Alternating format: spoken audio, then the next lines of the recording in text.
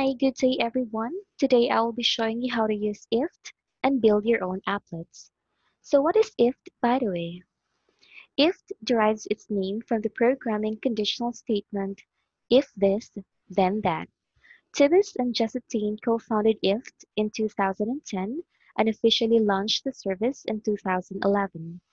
What the company provides is a software platform that connects apps, devices, and services from different developers in order to trigger one or more automations involving those apps, devices, and services. The automations are accomplished via applets, which are sort of like macros that connect multiple apps to run automated tasks. You can turn on or off an applet using IFTTT's website or mobile apps. You can also create your own applets or make variations of existing ones via its user-friendly, straightforward interface. The IFTTT service is free for users. So here's how it works. First, you go to IFTTT website to create your account. And by the way, make sure you download the IFTTT mobile app as well so you can have easy access to your applets that are connected to your apps or devices. Now we're going to sign up to IFTTT's website by clicking the sign up button on the upper right hand corner. You can also use your Apple, your Google, or your Facebook account to get started with IFTTT. Let's say I want to use my Google account instead. So we click on continue with Google.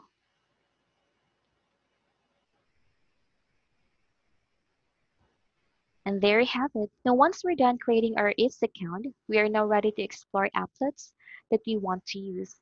Currently, there are 54 million IFTTT applets according to IFTTT. We can check it by clicking the Explore button on the upper right-hand corner of the screen. And then from here, you can check for applets we want to use and customize it. We can also create our own applets, which is what I'm going to show to you now. So to create your applets, click your profile on the upper right-hand corner and select the option Create. If this, then that. This is our building box. Now we click on R this. We're looking for a trigger that's going to tell us our applet when to run. So as you can see, if you scroll down, you can see tons of apps and devices that you can choose for your applet. Let's select Facebook page. We need to connect our Facebook page and let it know we're going to use it with IFTTT. So we click connect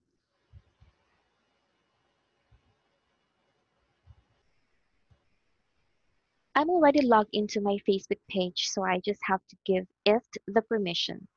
Facebook page can do tons of things with IFTs, so we have a choice of triggers.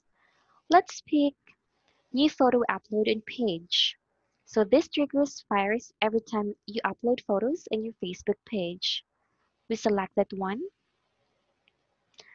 Now we need to click our that.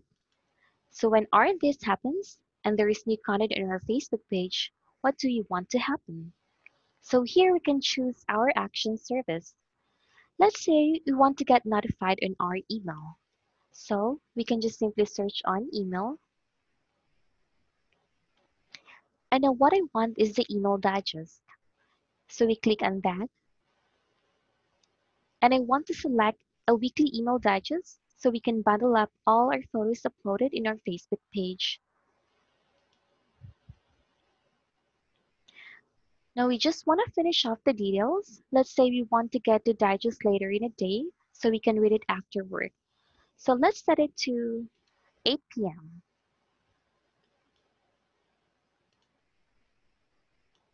Everything else looks good. The ingredients here are the specific things we will be capturing. Looks like we get all the details when you upload photos in our Facebook page. Now we can click on Create Action then we review our applet and if we're satisfied, we hit finish. Great, it's live and it will start to gather up those photos for us. We can see this sitting happily when we click our profile on the upper right hand corner and we select My Applets. There you have it. Now let's say we want to change something on our applets. So we just click Settings on the upper right hand corner so we can reconfigure Maybe we decided to change the day and say Wednesday is the best day to get those updates. So it's just a really simple change. So we click the day of the week and select Wednesday. Then we can update the description to reflect the new day. So click on Edit Title and change Monday to Wednesday. And then after that, we click on Save. And we're good to go. So it's very simple and you can add more applets and save it under My Applets.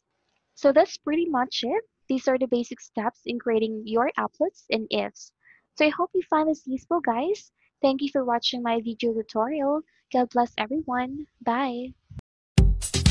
Thank you.